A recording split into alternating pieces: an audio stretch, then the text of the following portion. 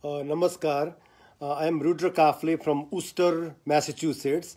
So today uh, we are doing a brand new episode of Physics is Fun, which is 15th episode in the series.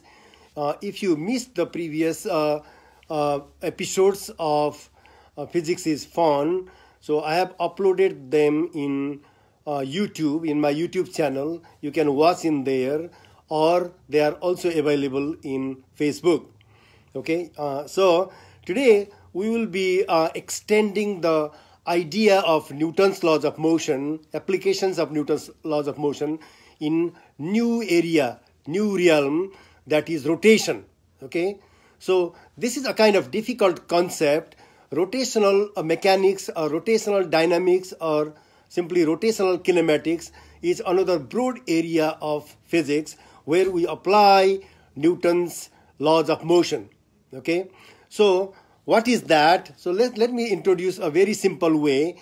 Okay, so when we consider rotational dynamics, right, of course there is force.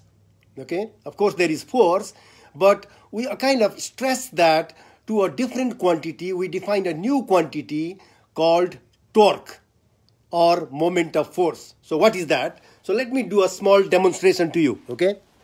So here, so I have this wooden bar, right? I have this wooden bar, and this is I have uh, I am putting that on top of this table, right? You can see here, right? So this is balance. It is horizontal. Okay. This is horizontal. It is balanced. You see that, right?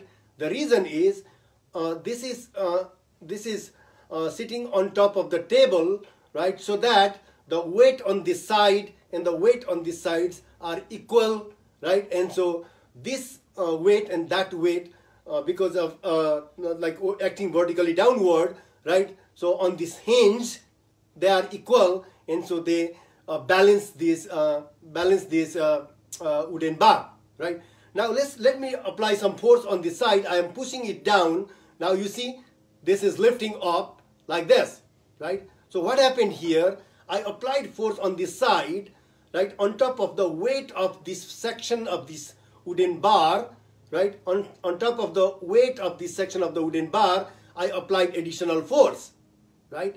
So the force which I apply here, right, is now adding to the weight on this side, so there is more force on this side, okay? So that is causing a kind of rotation of this a wooden bar, right? See now the wooden bar is a kind of rotating, right? So it is going up, right? So the same way, if I apply a force on this side, so it will rotate this way, okay? Now, let's let me try to define a quantity called the moment of force or torque. Okay, what is that? So this wooden bar is supported on the top of the table, okay? Right? So if you consider this, this, this point to be origin, and let's say this is about half of this wooden bar on this side, other half is on this side. So the since the bar is uniform, the weight acts somewhere around here, right? So the weight is vertically downward, right, which is mass of this section times acceleration due to gravity, right? So this is the hinge or the point of support, right? So if you measure the distance from here to there and multiply by the weight, right, that is what is called torque. So the amount of force times the perpendicular distance. The amount of force, the force is vertically downward, the distance is horizontal, so naturally they are at 90 degrees, right? Right? So because of that, because of that, so we can simply multiply this distance by the amount of force that is the weight of this section. So that quantity is called torque. T-O-R-Q-U-E. Torque or moment of force. On the other hand, if you consider on this side, on this side, so the, exactly the same way, right? The distance from this point to the about the center of this section of the wooden bar, right? You can multiply the weight of this section of the wooden bar by this distance, perpendicular distance, then you will get torque, right? So torque on this side rotates this, right, in one direction. Torque on this side rotates in other direction, right? So what you understand from this is uh, there is a new physics here the physics of rotation. Okay, the physics of rotation. Now let me show you a simple application of rotation. Okay, so I have a here I have here fidget spinner, right? So what I can do is I can hold it and then apply force. Now you can see, right now it is spinning, right? It is spinning. So this is a new kind of motion than simple translationary translation uh, translatory motion, right? So this is rotation, right? So in rotation, there are some new quantities we need to define called angular displacement. That means what angle does this fidget spinner cover like in certain time? Just like linear displacement, what angle? For example, if it goes one complete rotation, every one of us knows that I believe is 360 degrees, right? Or 2 pi radians. In general, we apply, when we use the formulas and equations in rotational dynamics, we take the angles in radians. Okay? So, so uh, what angle is covered by, what angle does it move through any at any point, if you consider any point of the fidget spinner, so what angle does it move through in a given time? That is called angular displacement. Okay? And then how fast it moves is the angular velocity. Okay?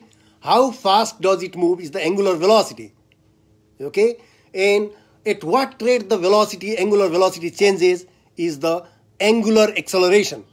By the way, we can write rotational uh, velocity and rotational acceleration also. We can say that too, right? So angular velocity, how fast it is moving, right? And at what rate the velocity is changing, that is rotational or angular acceleration. For example, see right now it is at rest, right now it is at rest, right? It is at rest. Now when I apply some force on, on one side and then, right, uh, and then cause it to move, that it starts from zero and gets some velocity, right? That means its angular velocity is changing with time, then what we call angular acceleration or rotational acceleration. So when there is acceleration, there must be, right, when there is net acceleration, there must be force. But here we need to be careful because this object is not moving linearly. This object is moving right in a in a in a in a circle, right? Right? It is rotating. so then we need to consider not only force but the effect of force. So that is torque. So what is happening here?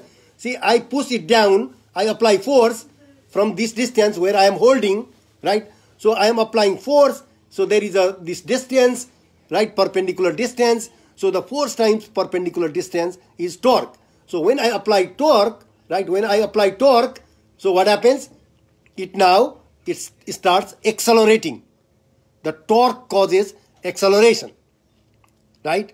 If there is net torque, that causes a net acceleration. That gives a net acceleration. Just like in Newton's uh, second law of motion in linear dynamics, right? What we said, F equal to ma. If there is net force, right? If there is net force, then what will happen? It will give a net acceleration, which is F equal to ma, right? Right? And that acceleration causes the change in velocity. Just like that, here, when I apply a net force on it, right? So it generates a torque, which is R, the distance, times the amount of force what I apply, right? And that causes this fidget spinner to rotate, right? Right? You can see in similar example in the fan. In the fan there is motor. It is a complex system there, right? The motor in the motor, right? When we turn on electricity, there is now electro electromagnetic force, right? That causes the motor to rotate and then fan rotates, right? So there is a net force so the fan starts from rest. When there is a net force in there, there is a net torque in there, right? That net torque causes the rotation. Okay? Right? So uh, now uh, let me show you one uh, quick, uh, let me a little bit continue more. So now there is a new quantity here, just like F equal to ma. When we call F equal to ma, right? Force is equal to mass times acceleration here we consider some, some quantity called rotational inertia or moment of inertia. What is that? So what is that? If I consider a small object like this, like, like this, right? It has certain mass. And then from the point of rotation, this is that there is a distance, right? So the distance and mass. If you square the distance and multiply by the mass, then that gives a quantity called rotational inertia. Okay? I'll show you a mathematics, the mathematics in a few minutes, right? So there is what is called rotational inertia or moment of inertia that is given by for point object for a small object rotating about certain axis right? This can be calculated by mass times square of the distance from the axis of rotation right? So that is called moment of inertia or rotational inertia. That quantity plays a kind of similar kind of role as the mass does in linear dynamics okay? So a, a rotating quantity has a quantity which is uh, undergoing rotational motion has mass right so it has uh, therefore it has rotational inertia right? And then since it is moving it is rotating it has angular velocity right? It is since it is rotating about the axis it has angular velocity. So if you take take the product of those those two quantities what is what are those two quantities? Rotational inertia and angular velocity. Then you get a quantity called angular momentum okay? If you multiply rotational inertia okay by angular velocity so you get the product of i angular uh, rotational inertia that is denoted by i right times omega which is angular velocity. I'll show you the mathematics in a few minutes. So the product of moment of inertia and angular velocity is called angular momentum. So very interestingly what happens is that angular momentum remains constant if the net external torque on an object is zero. Okay? The, the net external torque uh, uh, there is no net external torque. Okay? In the absence of net external torque the total angular momentum of the system remains conserved constant. Just like what we call uh, what i think i mentioned the uh, linear uh, conservation of linear momentum in the absence of net external force in the absence of net external force the total momentum of a system remains cons constant right? That is the conservation of linear momentum. So just like that right in rotational dynamics in the absence of net external torque the angular momentum of the system remains constant or conserved so i would like to do a very interest, interesting demonstration to you okay please give me a second okay okay so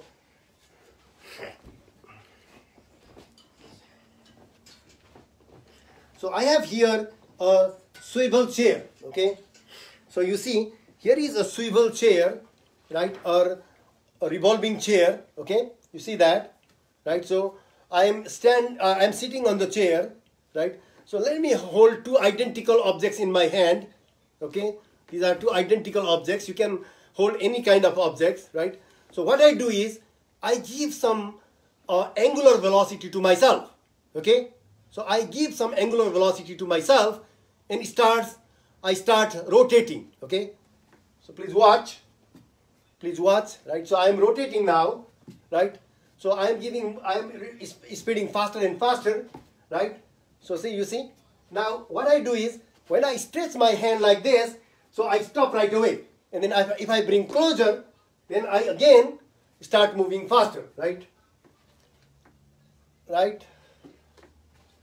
right so this is an example of this is an example of uh, uh, angular momentum conservation okay this is an example of angular momentum uh, conservation the principle of angular momentum conservation and one very interesting example for that is the ballet dancer okay i posted one question yesterday right how do the ballet dancer spin faster, right? And they, uh, when suppose they are rotating or the moving faster, how do they all of a sudden slow down? Okay, so in that interesting example, that very uh, that is uh, that there is application of physics, that is the principle of conservation of angular momentum. Okay, okay. So these are some interesting examples, right? Just like uh, the uh, what I uh, showed you now, right? So on the swivel chair or the revolving chair, I was sitting there, right? So what I did when I brought my uh, the uh, books in my hand, right? When I brought these books in my hand uh, closer, I started spinning faster. When when I stress this way, right? So I started spinning slower. What happens there? When my hands were like that with the book, right? So all the masses were closer to my body axis, right? Because I was spinning about my body axis, right? So when I stretch my hands, the mass distribution goes farther from my body axis. As a result of that, the rotational inertia becomes higher, right? But the product of rotational inertia and the angular velocity should remain constant. What is that? That is the angular momentum conservation. Okay? So let me show you the mathematics, okay, and then I will explain more, okay. So uh, here, uh, you, probably you can see I, what I have written here is Newton's laws in rotation, okay. So that is Newton's laws in rotation, okay. So there is a very important quantity I mentioned in rotation is torque, right? So what is torque? The, the quantity torque, is usually denoted by Greek letter tau, is equal to R cross F. By the way, this is not an ordinary product. It is vector product. Some, uh, it is a kind of difficult to calculate, but if the r, r vector, that is the distance vector or the position vector, and force are perpendicular to each other, then you can simply write magnitude of R times magnitude of force. You can multiply simply. Okay? So that is what we call torque. So torque is the product of the distance from the axis of rotation, perpendicular distance, times the magnitude of the force. Okay? Or more uh, rigorously, vector we, are, we can give by vector equation R cross F. Vector R cross vector F. Okay, let's consider a very simple example. Let's consider the door knob. Okay, in our door, in our door, right, there is door knob or door handle. Right, the door handle is uh, on the side of the door rather than closer to the hinges. Why? If we uh, make uh, door knobs close to the hinges, what happens? That R is very, very small, almost zero, right? So you need to apply a humongous amount of force to open the door or to close the door. So, but when the, uh, the since the door knobs or handles are towards the edge of the door, so by applying a small amount of force, you can rotate the door easily, right? Why? Because R is large, so even if F is small, the rotational effect is large. So the torque is large, or what you or also we call moment of force is large. Rotational effect is large. So it is easy to rotate, right? Okay, now let's go beyond. So in uh, we can write this equation for Newton's second law, right? Using the torque, right? So instead of force, I write torque. Instead of mass, I write moment of inertia. Instead of acceleration, I write rotational acceleration. Okay? Okay? So if we now, let me define what those quantities are.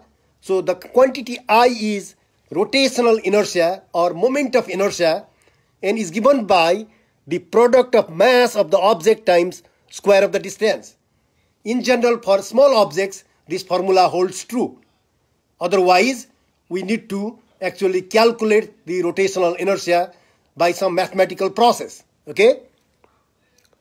So alpha the quantity alpha in this equation, in this equation here is rotational acceleration. So you see, this equation is similar to F equal to ma. So this is nothing but Newton's second law of motion in rotation. Instead of force, you write torque. Instead of mass, you write moment of inertia or rotational inertia. Instead of linear acceleration, you write rotational acceleration, right? So, as I mentioned, the angular momentum, this is the quantity which is calculated by the product of moment of inertia times angular velocity. When an object is rotating, when an object with some mass is rotating, it has rotational inertia, right? And it has angular velocity. So if you take the product of those two quantities, what you call is the what you get is the angular momentum. Okay. Again, that quantity I is the rotational inertia or moment of inertia. Okay. Moment of inertia, right? And try to figure out the unit of this quantity. Mass is in kilogram, distance is in meters. So you can uh, easily figure out what is the unit of this moment of inertia, uh, uh, moment of inertia or rotational inertia, right? Although this quantity behaves like a mass in rotational motion, it is not exactly mass. It is the product of mass times and the square of the distance, okay, from the rotation axis. And the omega, that letter omega, Greek letter omega, is the angular velocity, okay? So, uh, angular momentum conservation.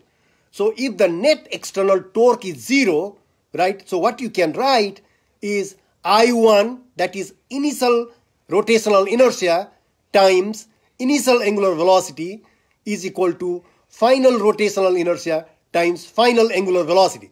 So, but there is there should be no net torque uh, uh, uh, acting on the system, right? So this is what is called angular momentum conservation. Okay, so now let's apply this to ballet dancer. This is a, a picture I took from Wikipedia. So it is a picture of very, very famous ballet dancer. So what is she doing? She is bringing her hands closer and her feet closer, right? So in this situation, she spins faster. Why? Because when she brings her hands closer to her body, and feet closer to, together, then what happens? The mass, body mass comes closer to the rotational axis, body axis. So that means moment of inertia or that quantity I, right, that will be smaller. So as a result of that, angular velocity should be larger. So it spins faster. How does how can she slow down? So when she stretches her hand, what happens? Hands are, and in that case, the mass distribution is now at wider distance, right? So as a result of that, uh, rotational inertia becomes higher, right? So the angular velocity, because of angular momentum conservation, angular velocity should be less, right? So spin slower. That's what I exactly, that's what I exactly did in swivel chair. I can do show that demonstration to you one more time. But before that, let me tell you couple of, couple of things. For example, this idea is extremely important in physics, right? I just introduced you this new realm of physics today. So if you are curious, please try to find the literature and learn more, right? So, for example, Johannes Kepler gave the Kepler's law of planetary motion. There are three laws of planetary motion, just like Newton's three laws of motion, right? The planets go around the sun, right? So they go in elliptical orbit. They go in elliptical orbit, not exactly in circle, right? And their angular momentum remains conserved there because the net external torque is not, uh, uh, uh the, the net external torque is zero, right? So the angular momentum is conserved. So when the planets are closer to the sun, they move faster. And when the planets are away from the sun, they move slower. So they all they don't always move with the same uh, same velocity, right? Same angular velocity or even linear velocity, right?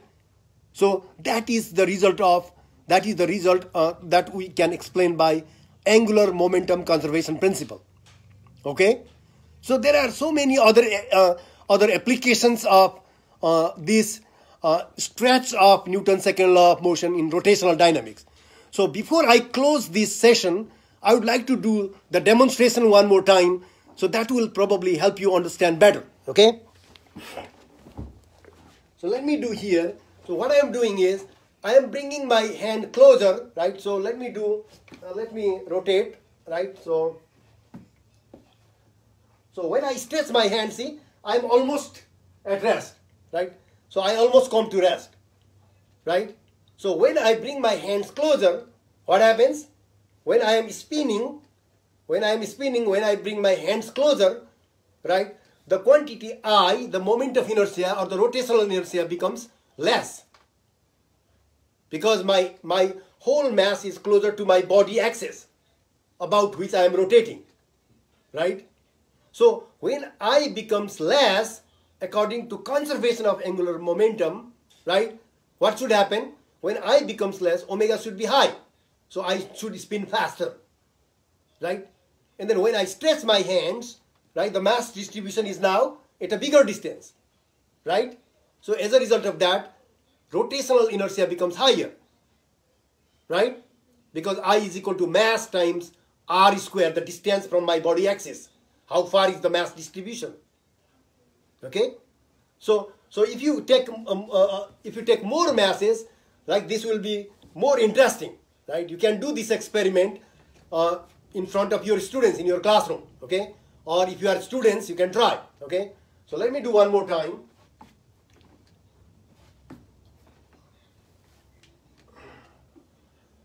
Right? Right, so see? So that, that's, uh, that is the principle of angular momentum conservation. So with that, I would like to thank you so much for uh, coming to this session, right? So please uh, provide your feedback in comment, right? If you have any question, you can comment in there or you can uh, send those uh, questions in my inbox. I'm getting actually some good questions from some of you right? So I enjoy answering those questions, right? I will give you, I will provide you materials if you need help. Okay? With that, I would like to thank you so much. See you next time. Bye.